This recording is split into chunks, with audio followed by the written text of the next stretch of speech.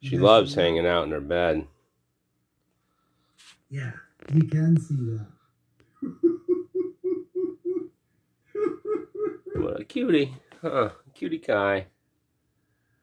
Hanging out with her peace sign. Isn't that interesting, friends? We have all that space up front, right? Remember that great big gap, all that?